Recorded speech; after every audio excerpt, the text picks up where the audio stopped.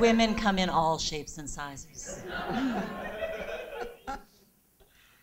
Heartbreak. It happens When you least expect it. when you think you can handle it, and you can, until you can't. When the promotion goes to the younger guy who was your assistant. When you spend all those years dealing with the mess and the interruptions and the side effects of birth control, and then when you finally want to get pregnant, you can't. When your ex unfriends you on Facebook. First time somebody calls you ma'am.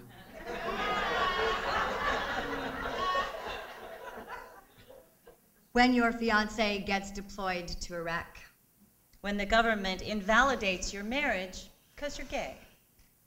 When your child is heartbroken and there's nothing you can do to make it instantly better. When you're wearing your first pair of $750 Louboutins, the ones that took you six months to save up for, and 20 feet outside your front door, you step into a fresh pile of crap. When your husband tells you he's bisexual and he's leaving you for another woman. That's cold. Or when you've got a great job, great clothes, a king size bed with Pratesi sheets, and no one to share it with. Mm.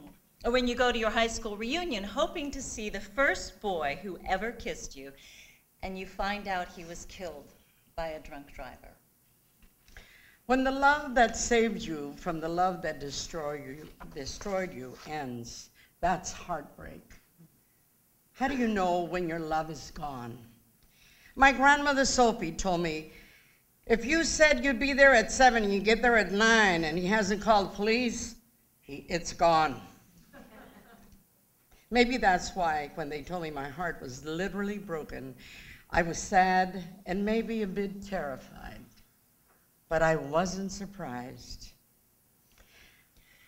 I'd I'd had so much practice.